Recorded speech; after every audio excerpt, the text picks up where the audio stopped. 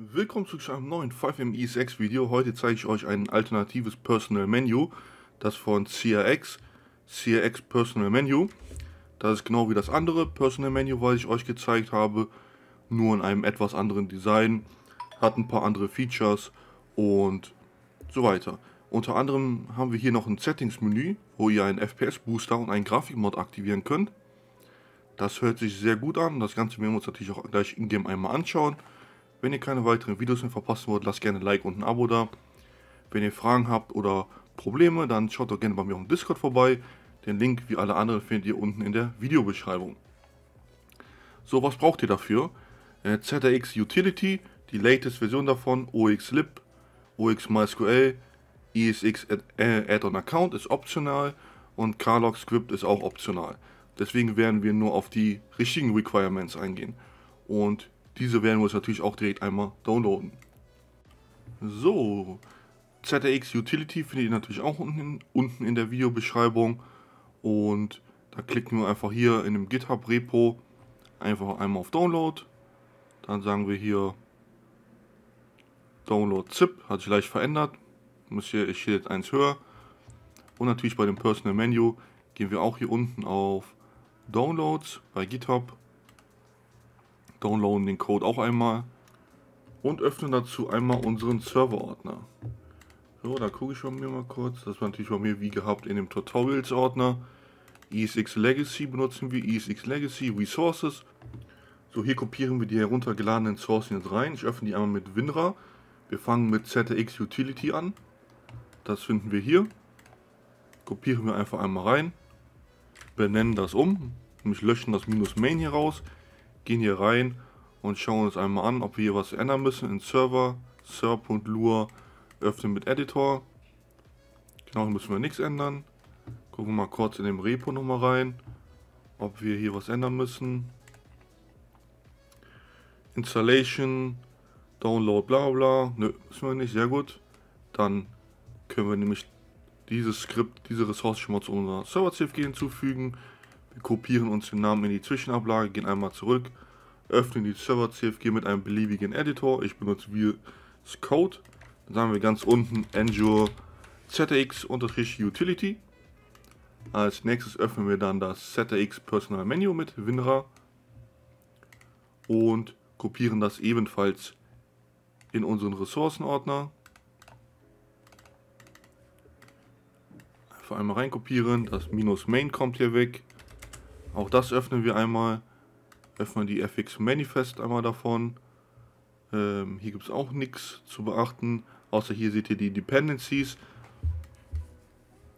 Ähm, Client. Gut, dann schauen wir auch mal kurz, ob es was zu beachten gibt noch. Installation, genau das gleiche. Auch das fügen wir jetzt einmal zu unserem Config-Datei hinzu. Server CFG. Azure ZX Personal Menu. So, und dann sehen wir natürlich hier in der Config unter anderem, dass wir schon OXMySQL haben und das nicht mehr separiert benötigen. Das heißt, wir starten jetzt einmal XAMPP, starten hier unseren Apache und MySQL Server und können jetzt einmal den Server starten. Bei mir ist das im Serverordner, die fx server.exe und warten mal, und schauen mal, ob die Ressourcen korrekt geladen wurden. Wenn ja, schauen wir uns das Ganze in-game einmal an.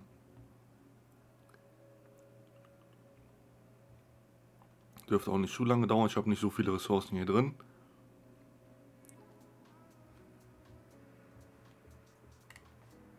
So, Server wurde hier hochgefahren. Wir sehen, ZX Utility wurde geladen. Die, das Personal Menu wurde nicht geladen, weil uns OXLib fehlt. Wenn jetzt was auffehlt, müsst ihr es natürlich auch noch zu eurem Server hinzufügen in den Ressourcenordner. Den Download findet ihr auch unten in der Videobeschreibung. OXLib, neueste Version, einfach einmal downloaden. Mit WinRAR öffnen. Hier rein, hier rein kopieren. Schauen, dass alles passt. Und zur Server CFG gehen. Und OXLib vor ZX Utility laden. Mit OX-lib das Ganze mit STRG S speichern, Server beenden und Server einmal neu starten. FX Server, Oh, der fährt noch runter. So, jetzt. Und dann warten wir nochmal, bis der komplett hochgefahren wurde. Geht beim zweiten Mal deutlich schneller, weil die Sachen gecached wurden. Dann sehen wir, OXLib wurde geladen, ZX Utility wurde geladen und das ZX Personal Menu wurde geladen. Wenn diese Meldung erscheint, dann könnt ihr euer UX MySQL auch noch updaten. Link steht hier unten.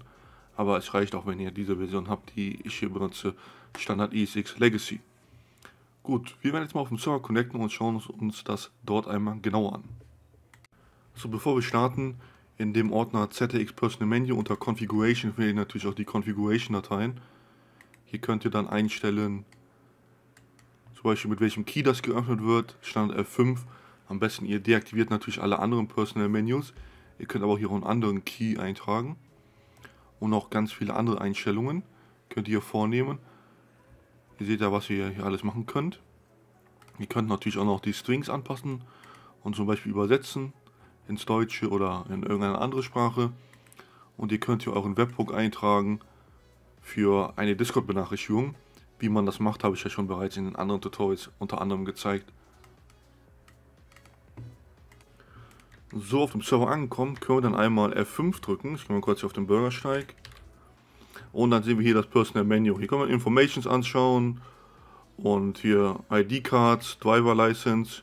You don't have the type of license. Okay, habe ich keine, aber hättet ihr eine Driver License, die ihr in den Configuration einstellen könntet, dann könntet ihr das anschauen. Clothing, könnt den Hut auf und abziehen, ich habe keinen. Unter Settings könnt ihr den FPS Booster aktivieren, wie ich versprochen habe, oder auch deaktivieren. Unter anderem seht ihr ja schon, werden zum Beispiel Schattenelemente, grafische Elemente deaktiviert oder runtergedreht.